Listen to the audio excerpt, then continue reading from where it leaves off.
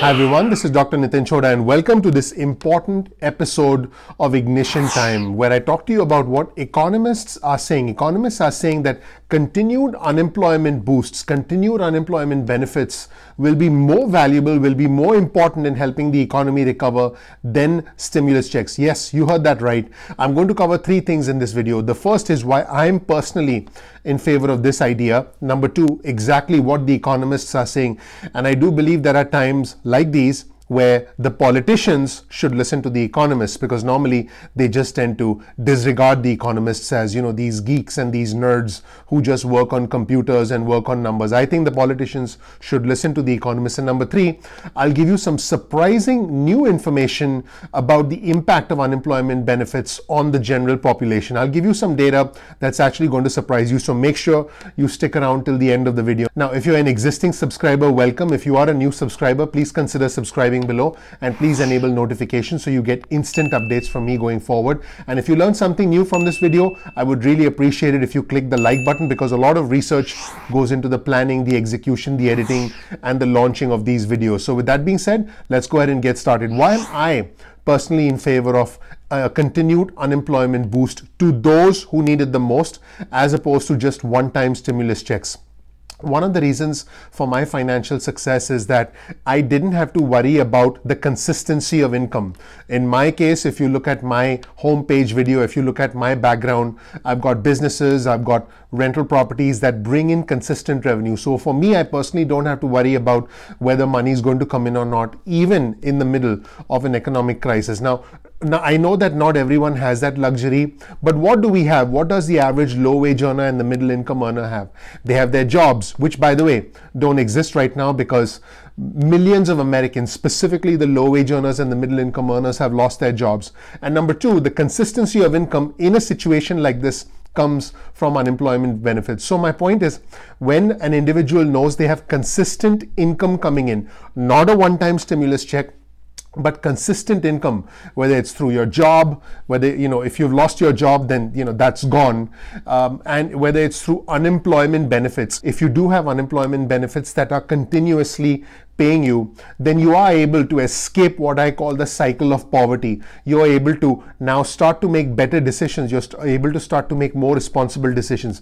Will there be some individuals who, you know, take the money and play video games or waste the money or do things they're not supposed to do? Absolutely. There's waste, there's fraud in every system. But I'm talking about the 99% of individuals who will be helped with consistent unemployment benefits and a consistent unemployment boost and not just a one-time stimulus check. Remember, this study was about unemployment boosters doing more than stimulus checks. It wasn't about, you know, unemployment booster should happen and stimulus checks should not happen. This was a comparison and this was data from economists. So there you go. I've given you my personal opinion on what I think should happen because again, consistent income releases the pressure, releases the cloud of uncertainty, allows you to breathe easy, allows you to make decisions that are in your best interests, hopefully in the interests of those around you. It prevents you from doing things that could be potentially risky, that could be potentially harmful for you. So there you go. Now let's listen to what economists had to say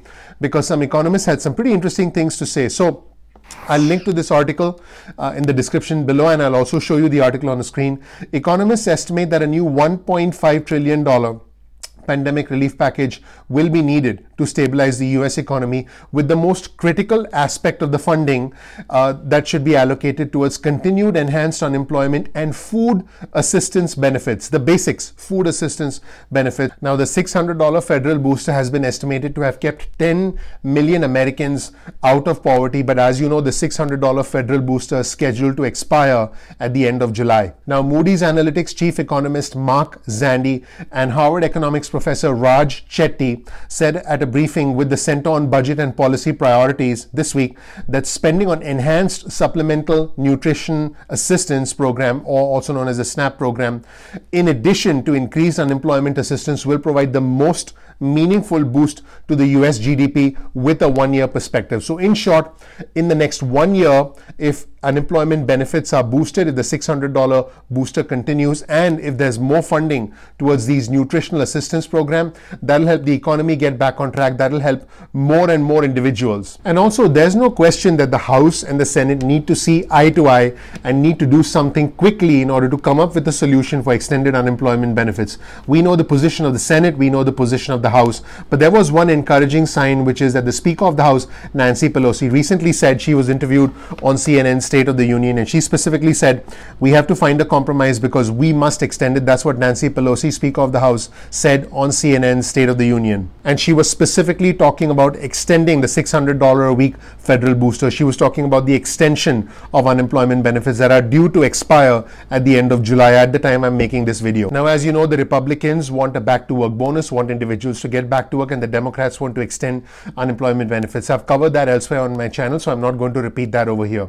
But before I get into some surprising information about unemployment benefits that you probably weren't aware of, in fact, when I read this, I was pretty surprised myself. And by the way, that's what I believe makes a strong case for continued unemployment boosts as opposed to a stimulus check. So, I have a question for you, for all of my subscribers, for all of my viewers. What do you think is a better option? Do you think extended unemployment benefits, specifically the $600 a week federal booster, will be more valuable than a stimulus check? Or do you think a stimulus check will be more valuable than the $600 a week extension for the for the federal booster for the unemployment benefits which do you think will actually help individuals more i'd love to hear what you have to say so click below click the comment section below and please tell me what you think. I'd love to hear from you. I'd love to engage in a healthy debate and I want to know what you think.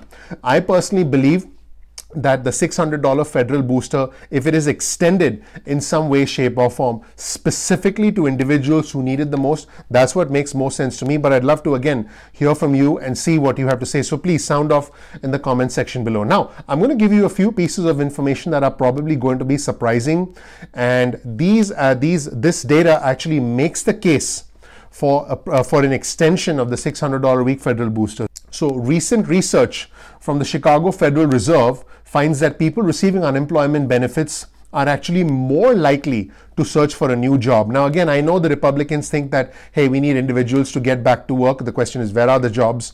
I'll get to that in just a second. But again, research from the Chicago Federal Reserve suggests that individuals who receive unemployment benefits are actually more likely to search for a new job than those who stop receiving aid. In other words, if you're receiving unemployment benefits, you're more likely to look for a new job. Very interesting. I'll link to that. Uh, I'll link to that article below from the Chicago Federal Reserve, so you can check it out for yourself. Also, a report from Harvard economists, and Chetty is one of them, the economist that I mentioned earlier, also finds that a general fear of the pandemic, again, a general fear of the pandemic, not the state mandated shutdowns, that is what restricts business activity. That is what prevents individuals from going and getting a haircut. That's what prevents individuals from going out to eat. A general fear of the illness is the primary cause of reduced economic activity and job loss. Think about this for a second. The state shuts things down. The state has mandated social distancing guidelines, but it is the fear of the illness that keeps people away more than what the state and what the federal government said. That's what the that's what the report from Harvard economist said. So I will link to that in the description below. So what this basically means is if the fear associated with this pandemic, with this illness goes away, things will start to get back to normal. We will start to resume our normal life because we want to. We don't need the state and the federal government to tell us that. We know that if we feel comfortable going out there, we know that if we feel that we're going to be safe going out there, then things will gradually start to get back to normal. That is that is quite significant. Now, also the capacity to really restore economic activity without fundamentally addressing the health concern is limited. These are the words of the Harvard economist Chetty. As far as economic policy goes, mitigating the hardship of people who've lost the most is likely to be the most effective. So what he's basically saying is help should go to those who need it the most. But he did say that there's a public health safety aspect to this. And once that's tackled, that should allow all of the things to fall back into place gradually in our economy. Now let's go back to Moody's Analytics chief economist Mark Zandi. What Zandi said, and according to him, stimulus checks are among the least impactful forms of fiscal support projected to boost GDP one year out. In simple words, he thinks that the economy will not improve a year from today with just stimulus checks. He and this is what the Harvard economist Chetty said. He adds that April's stimulus payments helped lower income households recover in the short term by paying for things like food, housing, and households recover in the short term by paying for food, housing, and essential bills. Though businesses that benefited the most were primarily large online retailers such as Amazon. Ironic, isn't it? Higher income households were more likely to save any stimulus funds that they received rather than spend it. So individuals who had more money just ended up saving the money and individuals who had very little money or no money ended up spending the money on simple items, on the basic things like food and living expenses. So in his opinion, in the Harvard economist's opinion, it didn't really boost the economy. It provided a simple form of sustenance, if you will, and nothing more. So Chetty said, what's the bottom line going forward? We should be focusing on unemployment insurance and expanding safety net programs like SNAP fundamentally because those programs provide what he calls social insurance.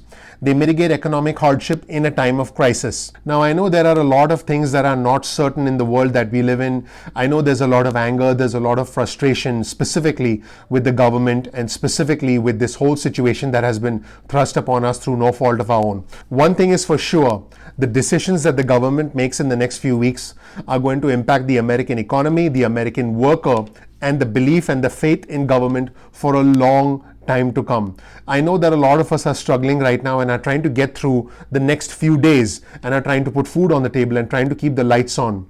My advice to you would be to try and learn new skills.